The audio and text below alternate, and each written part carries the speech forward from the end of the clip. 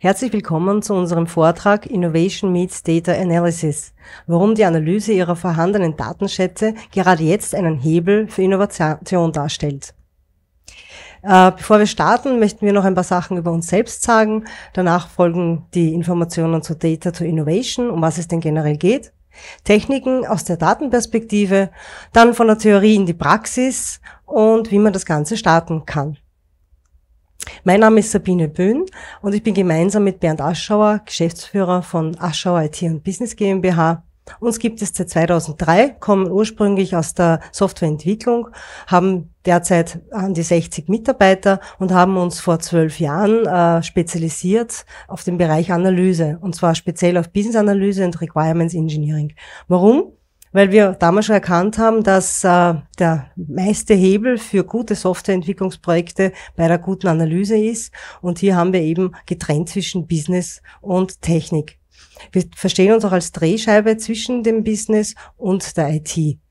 Was wir jetzt mit Daten zu tun haben, wollen wir Ihnen dann gleich erzählen und dazu zeige ich Ihnen noch vorher unser Portfolio. Äh, wir sind sehr stark eben in der Digitalisierung unterwegs und in Innovationsprojekten. Darum ist das ein eigener Bereich. Unter Digital Business Design findet man die Business Analyse, Requirements Engineering, aber auch UX Design etc. wieder. Das Digital Development beschäftigt sich mit der Entwicklung und dann zu guter Letzt haben wir noch Digital Enablement. Da geht es darum, um äh, zu lernen, um Trainings abzuhalten, um auch unsere Kunden äh, zu enablen, auch gerade in Digitalisierung Fuß zu fassen. Warum Daten so wichtig sind, wird Ihnen gleich mein Kollege Bernd Aschauer genauer erklären. Ja, vielen Dank, Sabine. Einen schönen guten Tag, meine Damen und Herren. Mein Name ist Bernd Aschauer, ebenfalls von meiner Seite herzlich willkommen. Äh, die Sabine hat äh, eine kurze Vorstellung gemacht äh, der Firma und ich will nun in das Thema Daten, Business-Analyse und wie kann man damit Innovation Gestalten einsteigen.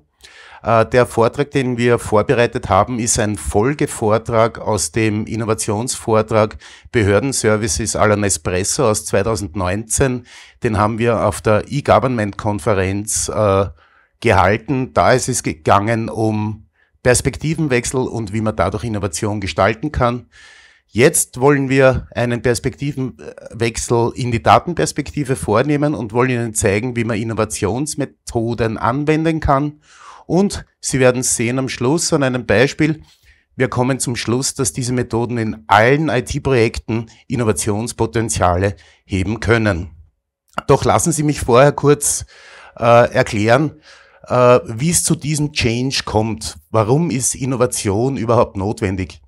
Äh, es war äh, in den vergangenen Jahren, in den 80ern, 90ern und so weiter. Sie sehen das äh, an der blauen Linie war es eigentlich immer so, dass die technischen Möglichkeiten und die Erwartungen an die Software eine ähnliche Kurve nahmen. Das heißt, wenn man sagt, was kann ich mir von der Software erwarten, war es eigentlich klar, äh, dass sich das auch entwickeln kann. Das hat sich aber spätestens zu der Dotcom-Blase gedreht äh, oder noch später vielleicht, äh, als das iPhone kam, äh, wo plötzlich die technischen Möglichkeiten über die Erwartungen äh, der Anwender exorbitant anstiegen. Ich erinnere hier nur an den 3D-Druck, an 5G, an Augmented Reality und so weiter und so fort. Das bedeutet, wir sind heute in einer Situation, wo wir Anforderungen nicht mehr so formulieren können, auf, äh, damit wir auch die technischen Möglichkeiten von Software ausreizen können. Und deshalb brauchen wir Innovation.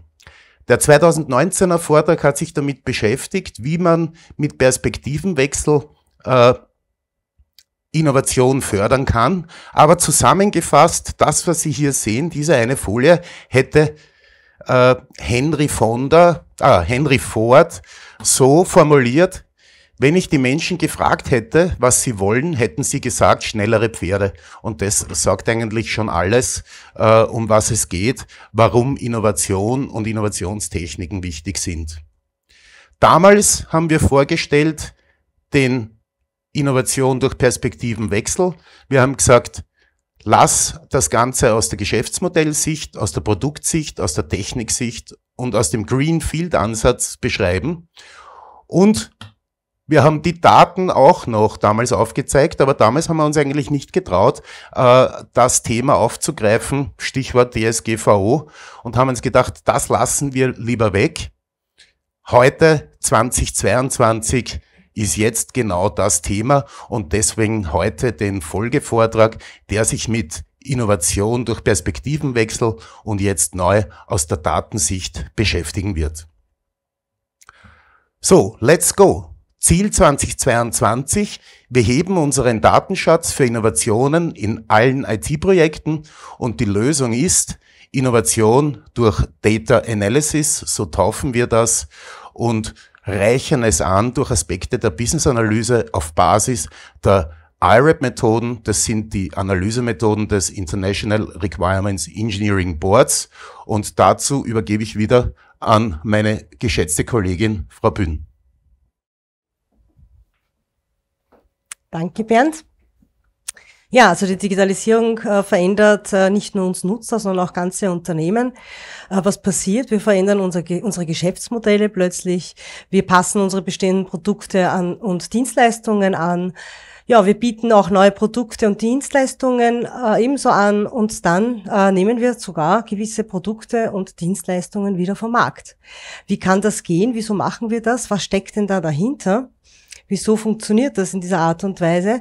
Weil wir durch Daten ganz neue Informationen erhalten. Das heißt, wir haben jede Information, die es gibt, sind Informationen. Aber es gibt auch nicht digitale Informationen, die meistens nicht den Weg in das System findet, weil das bis jetzt noch keine Anforderung war. Das heißt, wir erhalten Informationen vom Endkunden, die sagen etwas, sie hätten gern etwas, aber leider haben wir nicht die Möglichkeit, das zu erfassen, weil wir diese Felder zum Beispiel gar nicht haben. Dabei würde das sehr viel zurückspiegeln, was draußen am Markt gebraucht wird oder was sehr gut ankommt oder was nicht gut ankommt.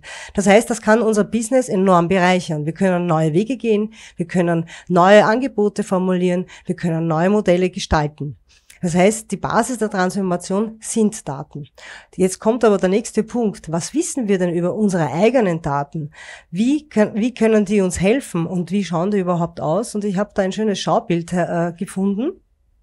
Äh, und hier sieht man so richtig schön, was wir nicht alles haben wollen, nämlich wir wollen auch eine Digitalisierungsstrategie, wir wollen Big Data anwenden, wir wollen überhaupt neue Reports, ein DWH wollen wir haben und weiß was Gott noch alles. Aber eines ist das Problem, das wir noch nicht gelöst haben, ist, wir wissen nicht, was wir haben. Und wenn man unterhalb des Eisbergs äh, schaut, da steht Achtung Schweinestall. Ja, das ist ein Schweinestall. Also wir haben keine Ahnung oder oftmals zu wenig Ahnung, was für Daten wir haben und vor allem wir haben es auch nicht in einer strukturierten Art und Weise irgendwo dokumentiert. Das erschwert natürlich Zukunftsprojekte enorm und man weiß auch gar nicht, wo man aufsetzen sollte. Warum beschäftigen wir uns nicht so gern mit Daten, mit unseren eigenen Daten, also mit neuen Daten? Das ist ja immer recht eine lustige Angelegenheit, aber mit den eigenen Daten will sich niemand beschäftigen. Und diese Punkte kennen Sie sicherlich alle aus der Praxis. Die Menschen haben Angst vor Transparenz. Sie haben auch Angst, dass Fehler aufgezeigt werden. Sie haben Angst vor der Datenschutzgrundverordnung wobei die nicht immer wirklich gerechtfertigt ist, wenn man sich es genauer anschaut.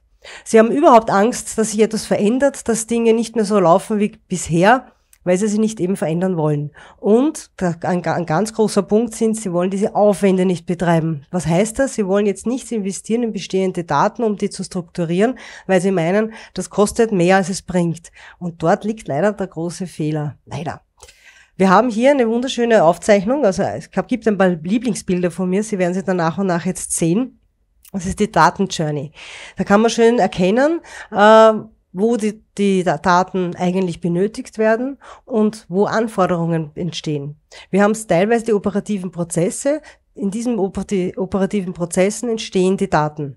Die werden dann für die operative Steuerung verwendet, damit überhaupt das Business rennt. Und dann oberhalb der blauen Linie äh, sehen Sie, jetzt gibt es natürlich auch Anforderungen seitens der Steuerung, des, des Unternehmenssteuerung, der Geschäftsführung, der Stakeholder, whatever. Die brauchen gewisse Daten, um hier weiterwirken zu können, um das Unternehmen overall führen zu können. Dann brauchen wir, wir wollen eine Innovation haben, dann brauchen wir ja auch noch Daten, um Innovationsprojekte umzusetzen. Das heißt, wir wollen was vorhersagen, wir wollen äh, eine neue Segmentierung durchführen. Dafür brauchen wir auch die operativen Daten. Und dann wollen wir natürlich äh, weiterhin automatisieren und optimieren. Und auch dazu brauchen wir unsere nicht geliebten Daten. Äh, was damit jetzt äh, ganz eng zusammenhängt, ist eben die Business-Analyse. Die Business-Analyse schaut sich nun das Business an, weil im Business hier entstehen eben alle Daten, die benötigt werden. Wir verändern sie dort, wir ergänzen sie dort und von hier aus werden die Daten eben auch weitergegeben.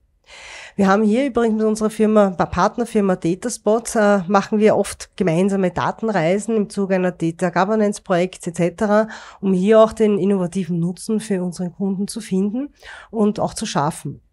Und dieser Datenschatz, den wir da haben und jede Firma hat, den versuchen wir gemeinsam auf, äh, rauszuheben, um hier aufsetzen zu können und hier optimiert auch vorgehen zu können. Wenn wir uns jetzt anschauen, den Business Analysten in seiner Tätigkeit, und Sie haben sicherlich Business Analysten in Ihrem Unternehmen, in den ITs, äh, in den Fachbereichen sitzen und auch in der IT als Requirements Engineering, dann wollen wir jetzt einmal auch zeigen, äh, wie die Arbeit der Business Analysten ist. An sich, äh, in jedem IT-Projekt analysiert der Business Analyst die Anforderungen seitens des Business auf oder für ein System. Dort, wo die Daten eben entstehen sollen.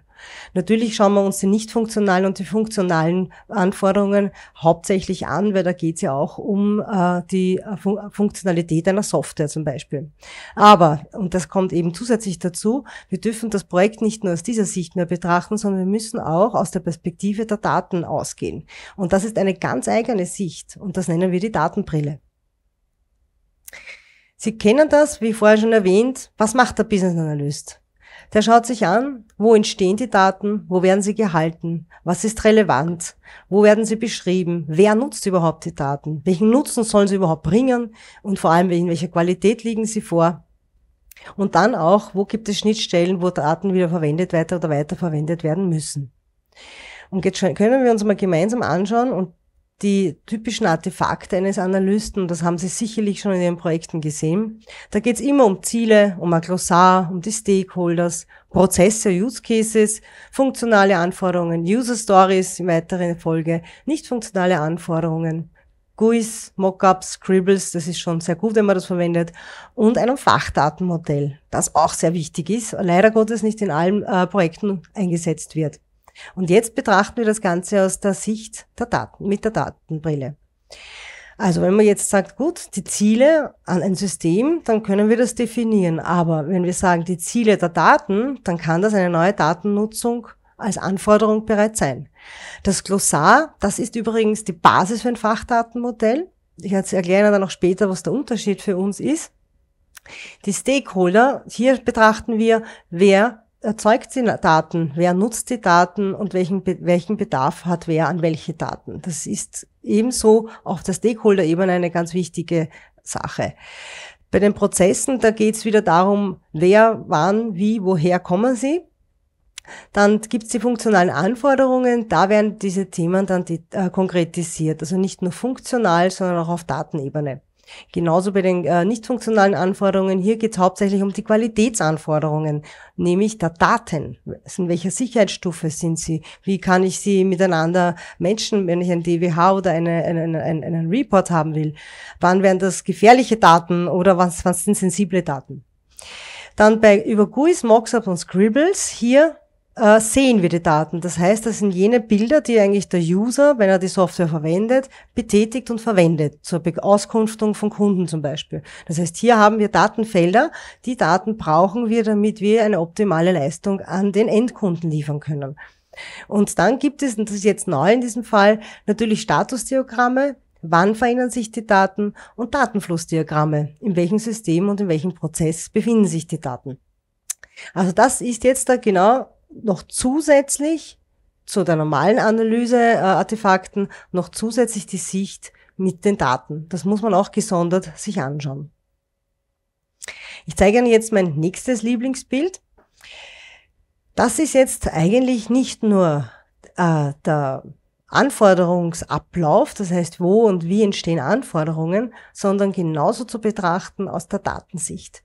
Das heißt, ich habe immer irgendwo eine Prozesslandkarte und fachliche Prozesse, wo in Aktivitäten Dinge passieren. Und oft werden hier Daten verwendet, verändert, verarbeitet. Also ganz klassisch. Aus dem heraus entstehen dann Use Cases. Also aus einem Prozess kann es eins bis n Use Cases daraus werden, je nachdem, wie groß die Use Cases sein sollen. Und unter den Use Cases werden dann die Anforderungen fachlich beschrieben, aber auch die Datenanforderungen fachlich beschrieben. Das geht dann weiter über die äh, bis, bis hin zur Fachdatenmodellierung. Und hier, das ist eine recht spannende Sache, arbeiten wir ganz stark mit dem Business zusammen. Und man glaubt gar nicht, wie gut das funktioniert. Denn wenn man sagt, gut, du, du hast ein Objekt, das heißt Auftrag, was gehört alles deiner Sicht zu einem Auftrag dazu? Dann beginnen sie bereits zu sprudeln und sagen, na, da brauche ich eine Auftragsnummer, da brauche ich ein Datum und da brauche ich eine Adresse etc. Und das sind dann eben die Attribute, die wir ergänzen. Und aus diesen Attributen schauen wir dann, in welcher Beziehung stehen sie. Und daraus entsteht eben so ein Schaubild, wo sich jeder Fachbereich sehr gut damit auseinandersetzen kann und auch versteht, wie die Zusammenhänge funktionieren. Der Vorteil ist von diesem Fachdatenmodell, dass ich aus diesem heraus auch wunderbar Mockups äh, äh, machen kann. Denn aus diesen, die Mockups beziehen sich genau auf diese Attribute, die ich sehen möchte. Sie zeigt nur an, wann ich sie sehe und zu welchem Zeitpunkt ich sie benötige. Und das Fachdatenmodell ist eine optimale Drehscheibe, eine Kommunikationsdrehscheibe zur IT. Denn die IT kann dadurch auch das technische Datenmodell ableiten. Gesprochen wird aber nur über das Business. Das heißt, das Fachdatenmodell tatsächlich ist eine Drehscheibe. Und um das nochmal zu zeigen, wie wir das dann auch aufbereiten, das ist natürlich eine, die Analysten dokumentieren ja auch so gerne. Und wir haben hier mit der Dataspot Software eine wunderbare Software entdeckt, wo wir all diese Informationen wirklich gebündelt auf einem Platz wunderbar geordnet haben und auch hier Verbindungen schaffen können und grafisch darstellen können. Und jetzt gebe ich wieder weiter zu meinem Kollegen Bernd, der Ihnen das nächste erzählen wird. Vielen Dank, Sabine. Ja, also danke für die Ausführung vom Fachdatenmodell. Was mir sehr gut gefallen hat, war eigentlich der Eisberg und äh, ich finde, du hast sehr gut erklärt, äh, ja, wir wollen viele neue Geschäftsfunktionen und so weiter, aber klarerweise braucht man auch die Basis eben, wie zum Beispiel das Fachdatenmodell, damit man auch den ganzen Eisberg betrachten kann und äh, schöne Sache. Und was mir auch gut gefallen hat, du sagst, es ist dein Lieblingsbild, aber es ist auch eines von mir, obwohl ich ein Mann bin und eher in Boxen denke und nicht so vernetzt vielleicht. Aber eben das Schaubild, dass man sagt, man geht von Prozessen, von einer Prozesslandkarte in Detailgeschäftsprozesse, in Use Cases, in Anforderungen, dann auf ein Fachdatenmodell, mappt das wieder auf Oberflächen und geht schlussendlich in die Technik. Also diese Vernetzung ist wichtig, weil nur so kann man auch rechtfertigen, Aufwände in der Softwareentwicklung einem geschäftlichen Nutzen gegenüberzustellen. Und das, denke ich, ist ganz wichtig. So, aber jetzt kommt folgender Punkt, meine geschätzten Damen und Herren. Sie fragen sich, wo ist jetzt die Innovation?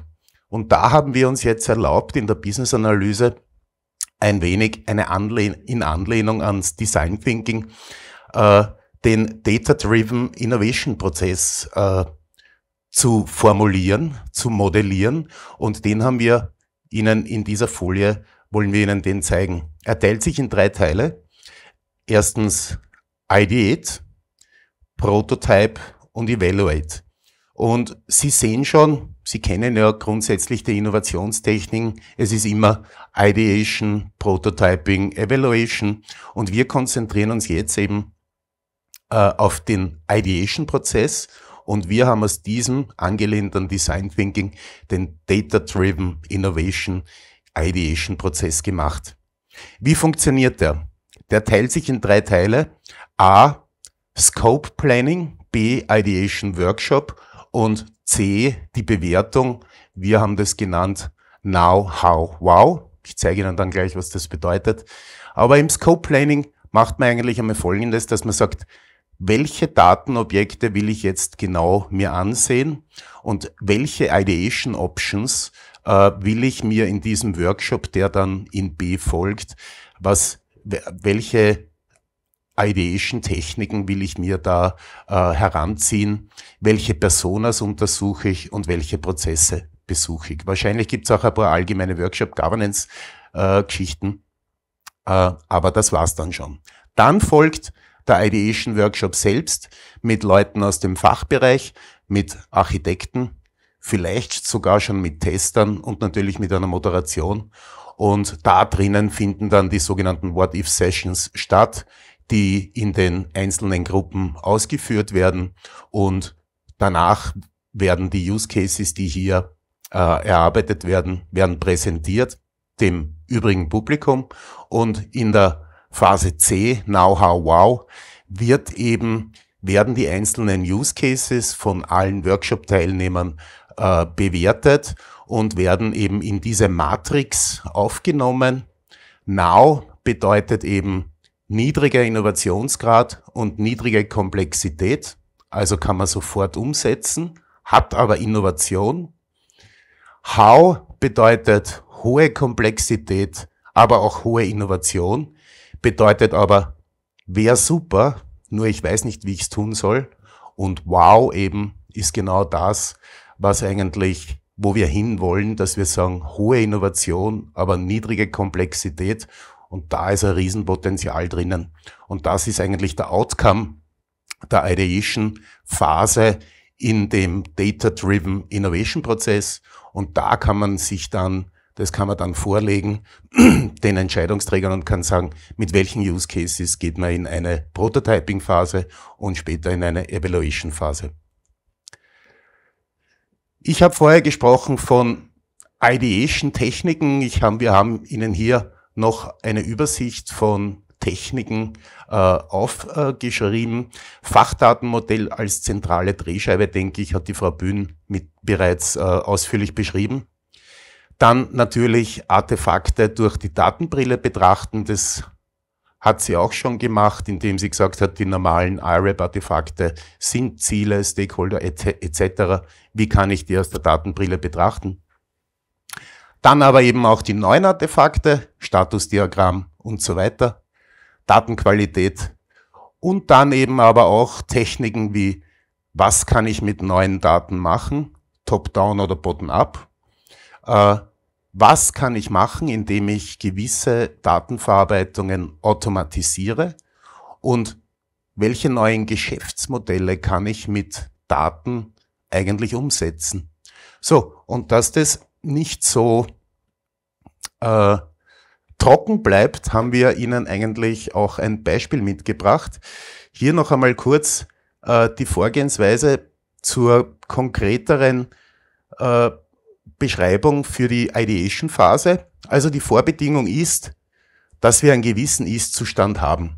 Wir müssen wissen, wie ist die derzeitige Datennutzung, wie ist das derzeitige Fachdatenmodell und wir müssen wissen, wie ist die derzeitige Datenqualität. Dann planen wir eben den Workshop mit Ziele, Datenobjekte, Personas, Prozesse eingrenzen. Ich habe Ihnen das vorher schon gezeigt. Dann führen wir den Workshop durch die Was wäre wenn Spiele, wo eben dann neue Use Case rauskommen. Da wenden wir die Data Innovation Techniken an. Dort schauen wir unter Umständen auch, wenn wir Datenqualität erhöhen, wie können wir mit neuen zusätzlichen Objekten oder nur Attributen neuen Geschäftsnutzen äh, generieren äh, und überlegen uns auch, Nutzen pro Use Case darstellen und eine Umsetzungsstrategie entwickeln.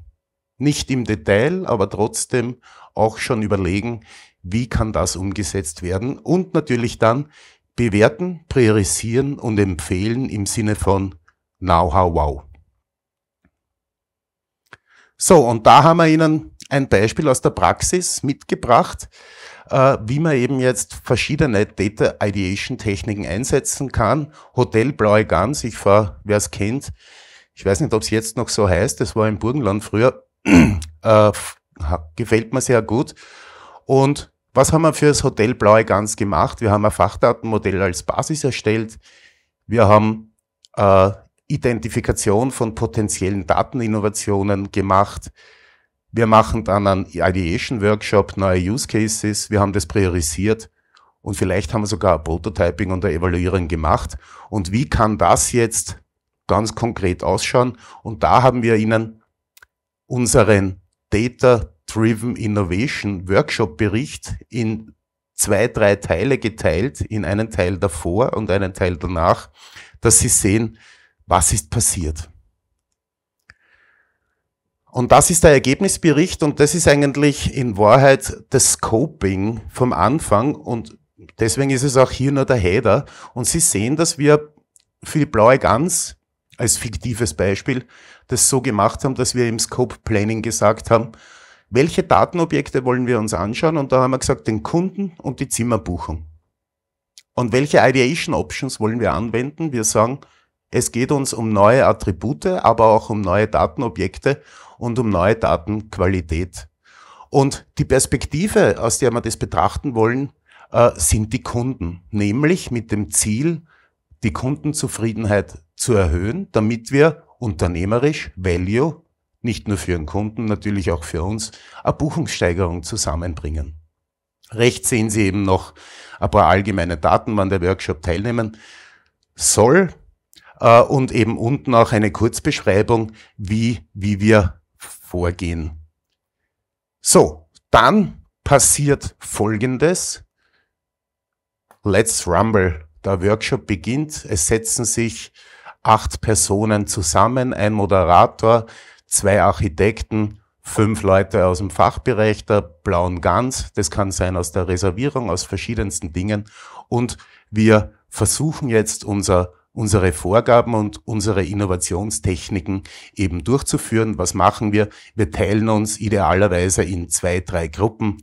Jeder nimmt sich zum Beispiel eine äh, Ideation-Technik her und versucht jetzt daraus Use Cases zu machen. Wichtig, das wissen Sie alle und das ist nichts Neues, äh, dass in der Ideation-Phase nichts vorab abgedreht werden soll, sondern äh, auch die, die schlechtesten Ideen sollen einmal gesagt werden können.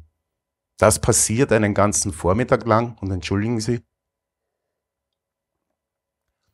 was kommt dann raus oder was kann rauskommen. Und das ist jetzt der untere Teil des äh, Workshop-Berichts. Und das kann zum Beispiel Folgendes sein.